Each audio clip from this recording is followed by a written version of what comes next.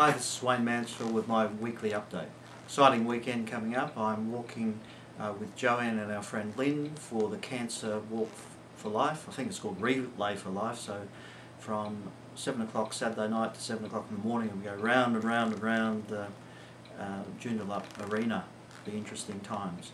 But over the week a couple of interesting things have happened. With all the travel I've been looking at new books and there's a great one that I've just noticed called uh, Sell Your Way Through Life by Napoleon Hill. I remember on the 11th of November 1975 I first read Think and Grow Rich, which is really uh, the one and only book they talk about when they talk about Napoleon Hill.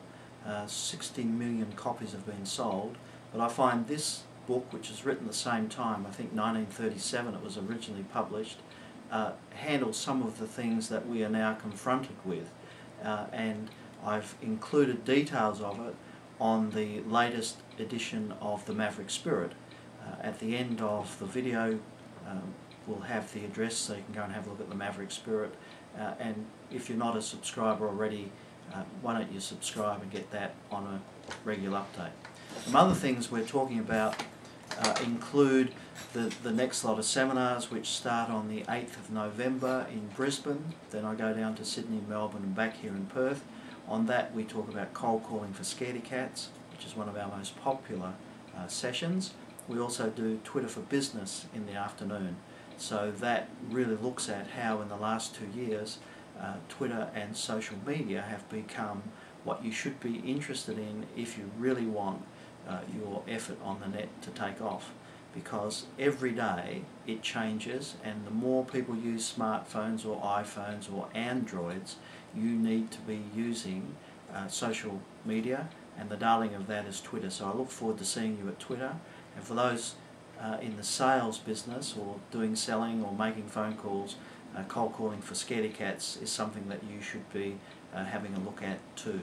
Now on the trip I flew my favourite airline Qantas and I noticed as I was flying around that, that Shane Warne, our world famous spin bowler, was uh, dishing it out to, to Qantas being late and him having to go through five times the uh, security check for explosives. My experience over the last uh, two to three years is that each time I fly uh, Qantas gets better and better and better getting back to where it was a couple of years ago.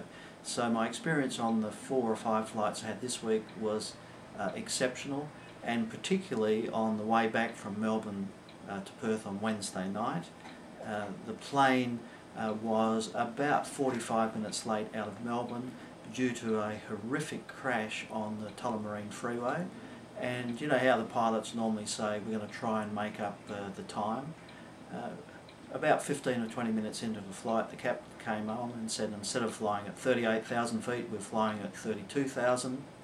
And in the uh, Airbus 330, uh, he came back on and said it's 20 to 8, we're going to land in time, on time in Perth. So well done guys, and the service was spectacular.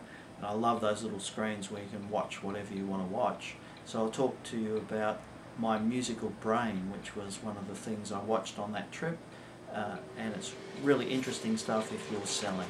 So uh, interesting times in, in uh, flying. Uh, everybody's trying to poke uh, fun or poke bad vibes at people like Qantas, but for, in my opinion they're getting better and better and I love flying Qantas. Just to finish off, over the week I met nearly 200 people at the power selling seminar. I exaggerate that number, but salesmen always exaggerate the number, but there was uh, great crowds in Sydney, Melbourne, Brisbane, uh, and uh, a, a, loyal following, of about 20 in Perth. So thanks very much. I hope uh, uh, you got as much out of it as I got talking to you.